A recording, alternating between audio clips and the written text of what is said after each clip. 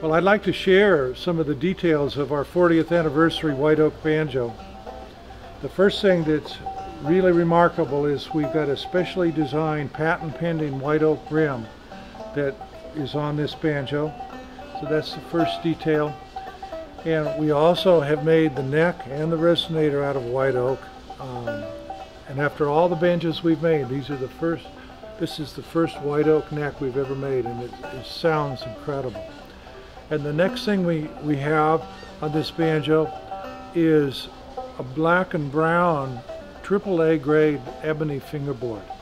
And um, it's a top quality fingerboard with a rich color that we don't usually get to see in the ebony because they usually leave those trees in the forest to rot, which is very irresponsible. So now we have the advantage of these beautiful fingerboards and it goes well with the white oak.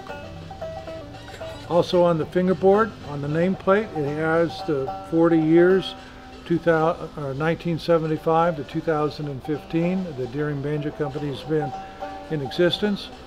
And the, when we, the production models will have a white oak truss rod cap that, which I will sign. I will sign every one of them. And they'll be individually numbered on the back of the peg head. And the whole run, because it's our 40th anniversary, is limited to 40 banjos. And I think we've sold 19 of them already. So there's only 21 of them left. I want one.